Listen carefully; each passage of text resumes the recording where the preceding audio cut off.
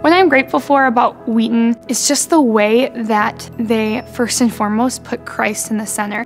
I haven't been in a place that has been so strongly focused on learning to strive and become a closer united fellowship of believers than at Wheaton. And it's been through that that I've become a better scholar, a better learner, a better practitioner of my field. I think that in the grad school for Christ and His kingdom is such an integral part of all aspects. Even our selection of what programs to offer has to do with areas that we feel like are really on the heart of Christ. And I think always wanting to think about, again, scholarship committed to servanthood how that we can help students be trained with the most accurate and contemporary scholarship in our different fields, but always for the sake of Christ and service to the church worldwide. The Wheaton College Grad School is filled with faculty who are at the top of their game, you could say, and the students as well. The students, with their diverse backgrounds, they engage in a conversation here that is vibrant uh, and alive. It's faithful and it's critical as well. Uh, and I have every confidence in the students who leave our program that they are at the top of the field, uh, that they are prepared for their next steps. My professors have impacted me in many ways.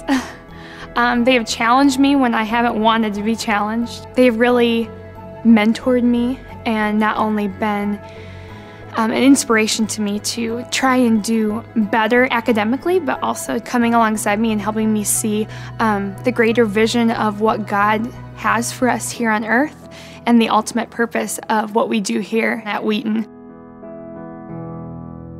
One thing that's interesting being a prof here at Wheaton in the graduate school is when you start a class discussion, you're never quite sure where it's going to go.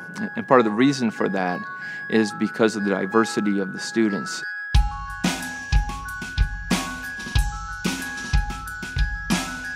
When you get people from all over the place with all different kinds of ideas, shared assumptions in many cases, and shared commitments, yet nevertheless different perspectives, it makes for a very rich dialogue.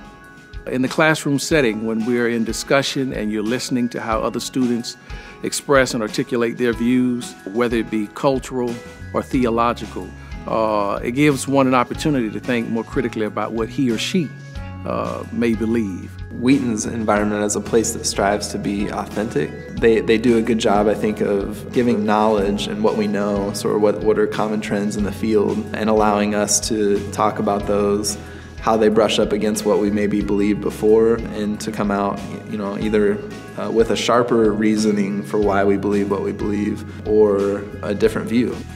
One of the things that Wheaton College's graduate school is intentional about is fostering a community um, of individuals who care about each other and who want to uplift and celebrate with each other and challenge each other.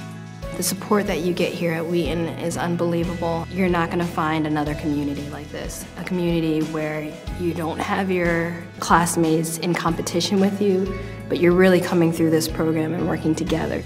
This education is something that will absolutely influence and change the way you live your life